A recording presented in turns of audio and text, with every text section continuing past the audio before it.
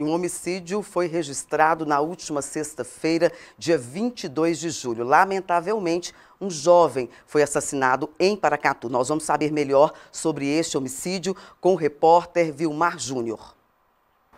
Oi, Eucária, boa tarde. Os policiais militares compareceram na rua João Paulo II, São João Evangelista, segundo informações preliminares, davam conta de que teria ocorrido um homicídio.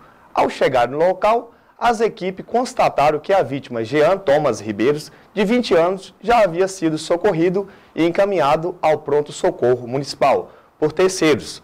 Contudo, segundo informações, Jean teria chegado ao hospital sem vida.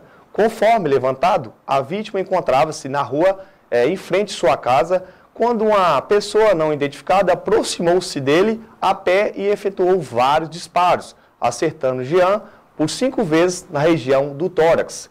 Levantamentos estão sendo realizados com o intuito de localizar e prender o autor.